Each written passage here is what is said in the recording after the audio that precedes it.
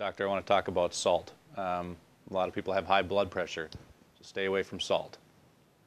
But we need it. Well, salt is an essential nutrient.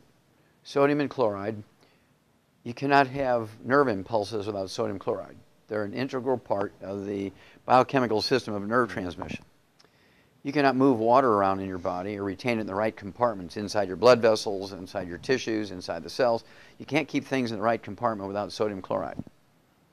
The chief cells in your stomach cannot make stomach acid without salt. Okay? Salt is the raw material. Sodium chloride is the raw material to make hydrochloric acid in your stomach. Now, two things have happened because of this terrible criminal advice that doctors have given. It's criminal. Anybody else do this to the American people, they'd be put in jail for life. Some of them would be executed because of the number of people who are killed over this, right? Salt is required to make stomach acid. You don't have enough stomach acid, you get reflux, incorrectly called acid reflux. Is reflux. Mm -hmm. Reflux is caused by insufficient amounts of stomach acid, not too much stomach acid. So doctors have even named it the wrong thing, right? And basically, um, you get reflux when you don't have enough stomach acid to keep your stomach environment sterile.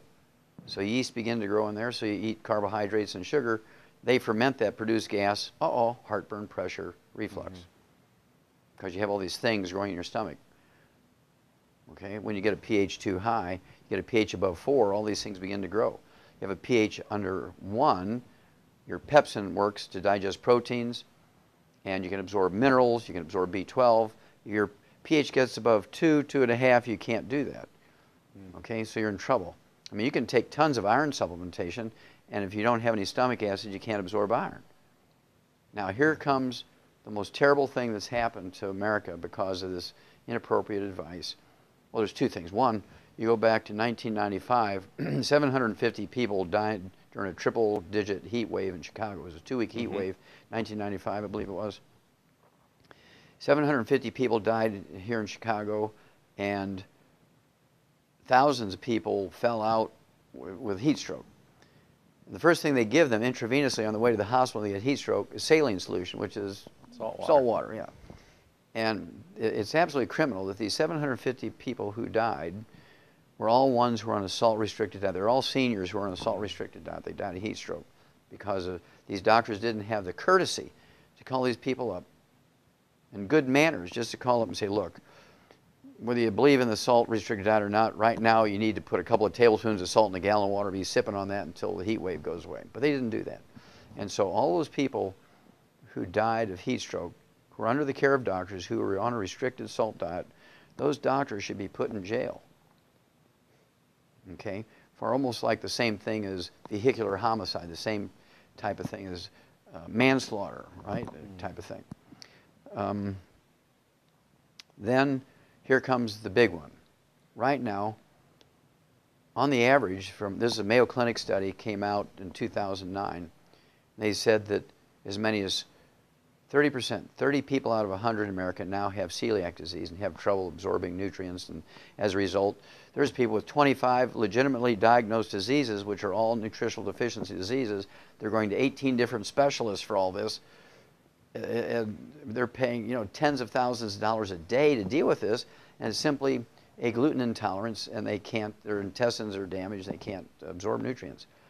Well, when you can't digest wheat, barley, rye, oat glutens, and you absorb these big chunks of what's called polypeptides, your body recognizes and uh, sets up an intolerance to those partially digested proteins you get gluten intolerance, you get celiac disease, irritable bowel syndrome, inflammatory bowel disease, diverticulitis, ulcerative colitis, Crohn's disease.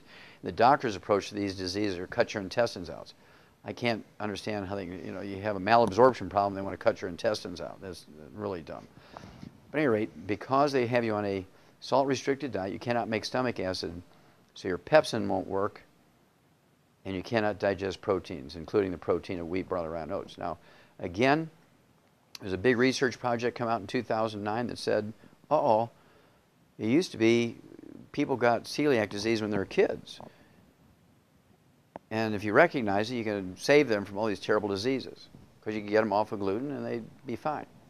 Well, now people who could eat gluten with impunity. They were really big on eating wheat, barley, rye, oats, no problems. And suddenly now at age 50 or 60, they become gluten intolerant.